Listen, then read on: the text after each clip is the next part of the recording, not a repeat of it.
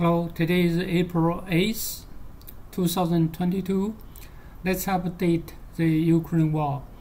Uh, let's first uh, go to update the situation in Mariupol. Uh, here is just the briefing outline here. Uh, uh, it looks like uh, the Ukraine still holding on three block, and we can get we get this information from several resources. We'll go one by one. First, let's go to see the uh, the 24 hour like a fair situation. So we see mostly near the seaport area.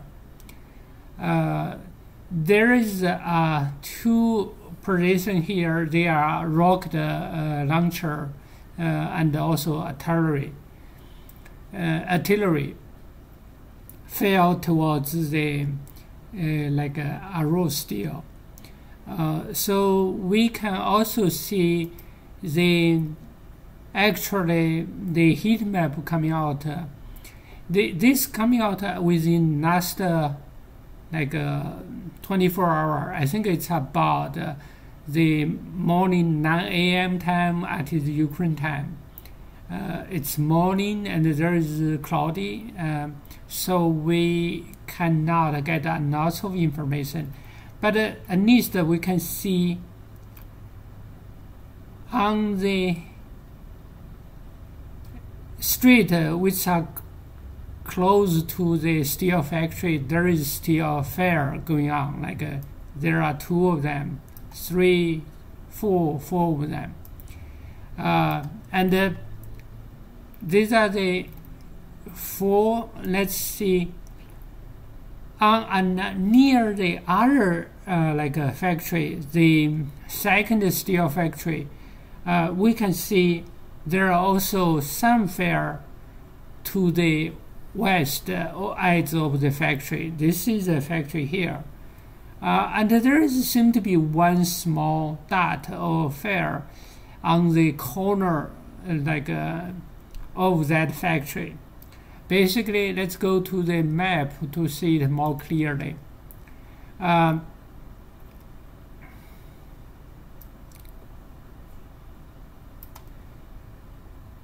the fair we saw, the two fair, one is around here, another one is here.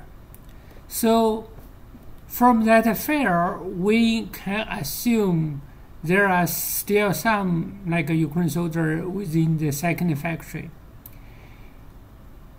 And we also have very confirmed information that the majority of the Ukraine soldier and Azov are still inside the steel factory.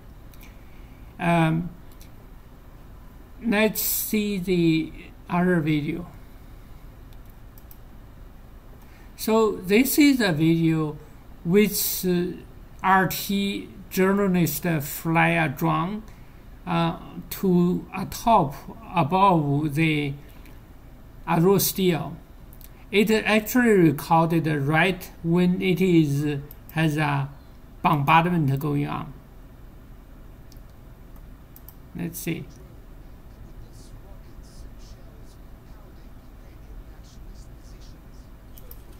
So this one shows the the area of the video uh, shows is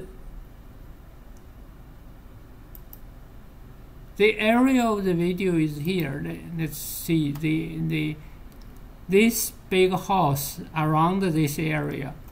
they are artillery shot. So what we can see it more closely.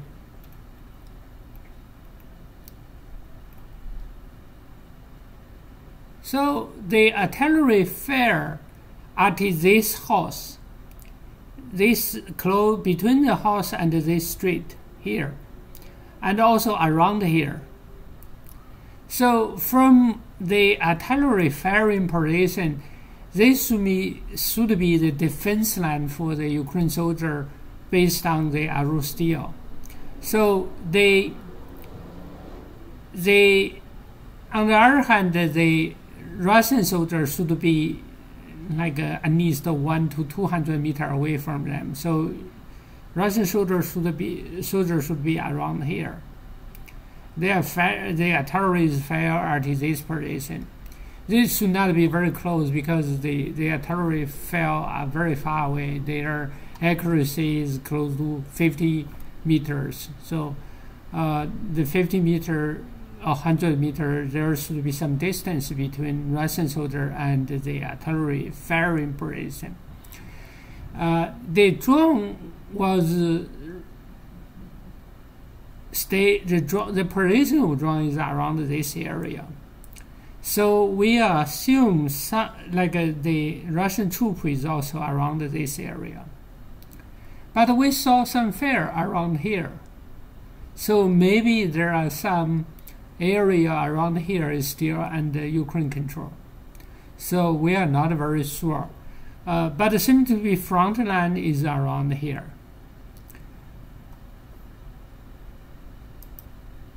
So this see the position of this uh, drone is actually very close to the eyes of the steel factory. The steel factory eyes is around here, so it's about a hundred meter away. Uh, we estimate.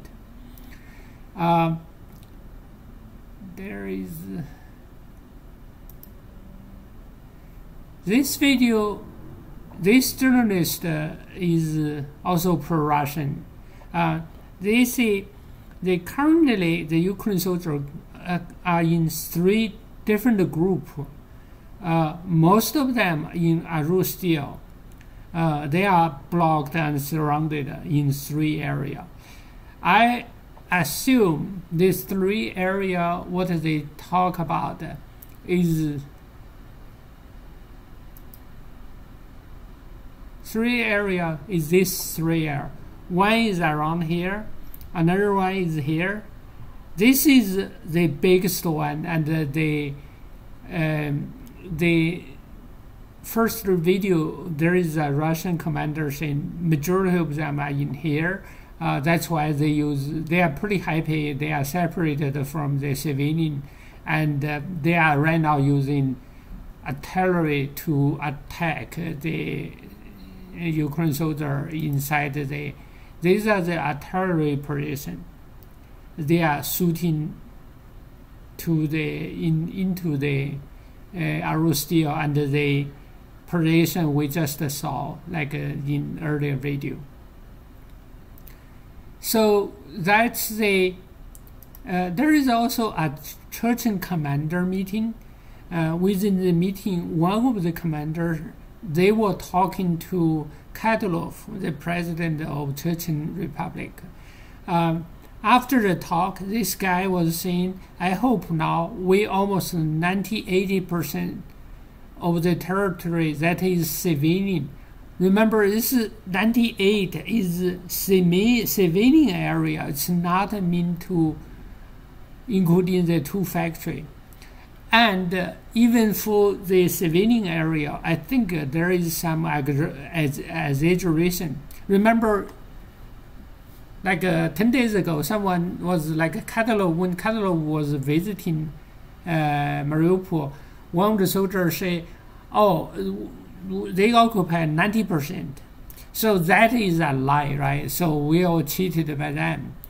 Uh, uh, we were we were thought they only place was here, not a reference. But now it seems to be that uh, there are three places still occupied by the Ukraine soldier. Uh, seem to be vast majority of them are in Azovstal. There are some of these places in the second steel factory, and they surrender, like some of them surrender. And uh, there is a big group of soldiers also on the west side. They used to be some of they used to also control the airport. Now the Russian soldiers are pushing from the west and pushing the soldier from the airport into the seaport area. This is also why we see on the seaport area there was lots of fighting going on.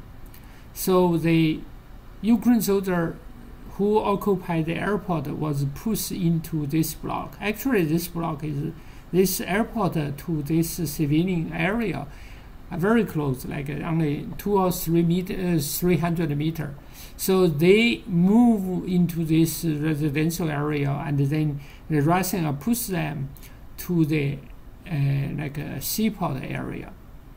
Uh, this is the third group, and the other two groups are within the factory. That's why they call 98 civilian area are occupied by them, but they didn't include in the big, two big factory. Each of them are almost nine square kilometer. It's a very big uh, steel factory. So uh, from this, we have a basic uh, picture about uh, the Ukraine, uh, like Mariupol area. Let's go to some bigger picture and uh, talk about the other area. In the last two days, uh, Russian side announced no major change of territory. That means uh, Russian typically do not announce when they lost uh, territory. Uh, that only means Russian did not gain territory in the last 24 hours. So from that, we can also tell that uh, Chechen soldier is relatively uh, like uh, very good uh, in of competitiveness. Uh, but the other part of Russian, they are not very uh, working, not working really hard. And uh, Russian also announced there are about 1,000 uh, uh, Wagner Group uh, f- soldiers from the Syria. They are working around the Donetsk, Donetsk city area, so it's around here. This is the area they are it is likely that um, uh, the active attacking area here is has some like uh, uh, Syria soldier around here. In the meantime, like a Russian bombed the uh, Kramatorsk, uh, railway station, uh, and uh, there was some casualty uh, there. Uh, they also bombed another uh, train station uh, in the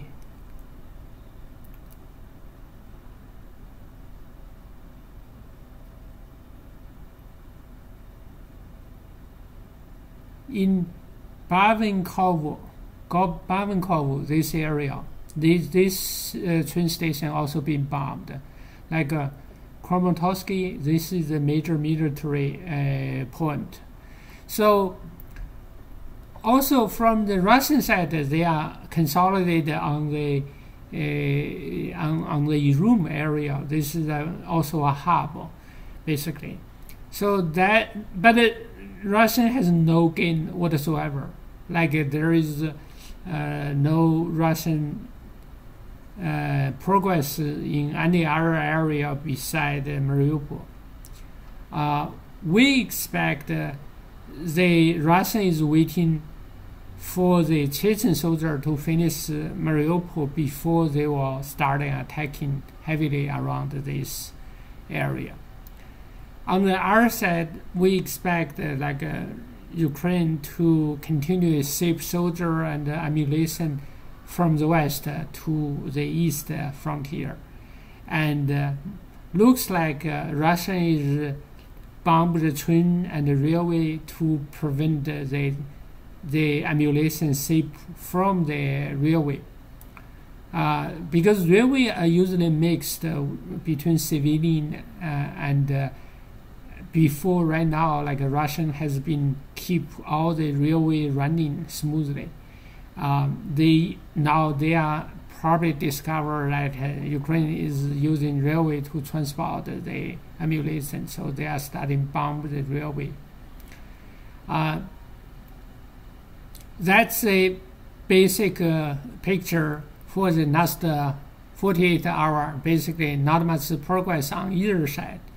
Um, so, okay, thanks for watching. Uh, like, please subscribe if you like it. Please hit the like button. Thanks. Bye now.